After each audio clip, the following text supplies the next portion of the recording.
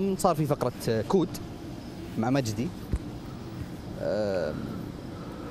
ما أدري أمدح ما أدري أنتقد. إيش رأيك بالفقرة بشكل عام؟ ما أدري والله أنا ما تابعتها ما للأسف. تابعت إي. والله. طيب آه، لكن الفقره لكن دائما قلت ما أدري فأنا بذم احتياطا. أقول أقول أقول لك أقول لك ليش؟ آه. خلينا نشوف مقطع لها بعدين نرجع. خلينا نشوف مقطع لكود ونرجع لكم. ونعود. كود ومن ثم نعود. يلا ورونا. الآن القادات أربعة. يختارهم رشحوا أنتم الان واحد يسحبها كلها. الان نمسح الله يستر. الكود ونشوف الإجابة. إجابتك يا عبد الله كانت إجابة صحيحة وصدق. ما شاء الله تبارك ما عندي أنا ما عندي عيد السؤال ما عندي عيد هو السؤال زعل زعل لما بدر أخذ أربعة النتيجة الآن المركز الأول واللي حرق 12 غند. هو فريق عبد الرحمن القاضي المركز الثاني هو فريق فهد الدوسري حرق ثمانية غندات والله والله يا جماعة أحس لو جاء نيوتن ومن عطني عالم ثاني. فيثاغورس. فيثاغورس وأينشتاين وتكوا كذا مع بعض. خوارزمي. وشافوا النتيجة. وش شافوا المسابقة؟ بعدين شافوا النتيجة و- ومحمد الفيدينيو. شاف النتيجة كذا قال أويلاو what is this فهمت؟ الحين زيادة. بعدين نقص- بعدين فازوا بالسالب.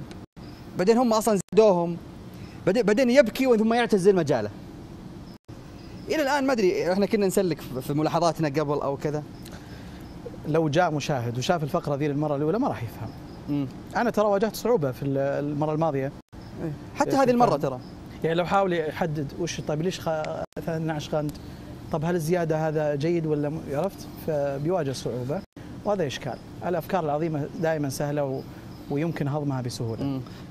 طبعا هم عندهم عذر آه، معين وجهة نظر. يقولون إحنا لو حطيناها نفس آه، زيادة غند وحرق غند صارت نفس البرايم نفس الميزان.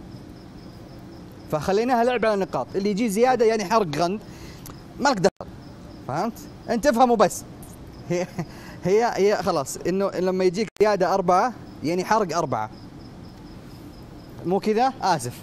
خلاص آه، يعني كنسل السالفة. تدري وش المشكلة؟ إيش رأيك؟ يعني كل برنامج في في هوية تمام؟ هوية. بناء على الهوية تقوم عليها الفقرات. مثال برنامج من البرامج في خطوات. إضافة خطوات تنقص خطوات. برنامج من البرامج إضافة نقاط خصم نقاط. البرنامج ثواني كيلوهات. بالضبط. البرنامج عندنا هنا إضافة غند أو حرق غند. إضافة الغند تقربك من الميزان. حرق الغند يبعدك من الميزان.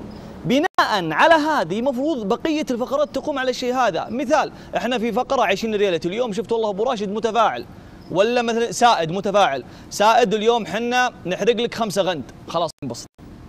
نفس الطريقة كود. مفروض إذا فاز المتسابق حرق غند.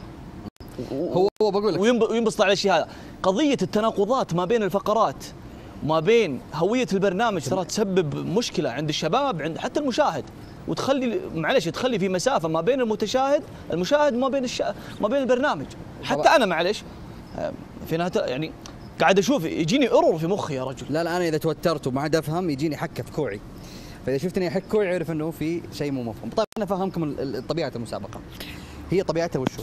أنا عندي أربع مراكز بنقاط ثابتة بمعنى المركز الأول لما الفريق يفوز. كمركز أول يجي له حرق 12 غند. منتهين. حلو؟ آه الثاني حرق 8 غند. الثالث إضافة 8 غند. الرابع إضافة 12 غند. نعم. جميل؟ هذا ثابتة. هنا العب في النص. يعني تنافس في النص. زيادة نقاط خصم نقاط مش عارف إيش. تنافس تنافس تنافس بعدين حيطلع لك مراكز. نعم. المراكز هذه حتوزع عليها النتائج اللي قلناها. يعني مثلا آه، جاني زايد أربع نقاط. بعدين فلان صديقي جاه زايد عشر نقاط. بعدين فلان جاه سالب آه، خمس نقاط. ترتفع. ثم تحول فيما- نقاطا هو. الأول. حيجي حرق 12 غند. الثاني ثمانية وه- وهلم بس ما. تنقض الفكرة. إحنا فكرة فكرتنا في الغند. نبعد عن موضوع النقاط. هوية هو البرنامج عبارة عن الغند إيه. ليش إحنا نستخدم النقاط؟ هو طبعا الأفضل من وجهة نظري أنه نبتعد عن النقاط نهائيا يعني. بمعنى أنه حتى التنافس في الغند يعني حتى التنافس في الغند يعني ما أحس أنه حيكون بذيك الصعوبة يعني. أعتقد. إحنا نريد- المتسابق غيروا الميزان. شوفوا حل. نريد ال- مو شرط. ترى ترى نقدر ما هو لازم نقاط. إذا إحنا خلاص مصرين. الغند هذه فكرة البرنامج. فكرة الفقرة مختلفة. ما هو لازم نقاط. خلوها مثلا زي مفاتيح ال- الغندور صح؟ اللي يجمع أكبر هو المركز إيه، الأول. تاخذ 10 مثلاً خلاص. مفاتيح. يعني في في طرق لا. لأنه النقاط في أمامي. طيب. آه عموما طيب خلينا نرجع للمواضيع الأهم. عموما إحنا شفنا الفقرة فقرة جميلة وألف مبروك الفايزين. وهارد لك الخسرانين. أي أحد من الشباب عنده مداخلة أو تعليق أو شيء يخص المسابقة آه يجينا. عبد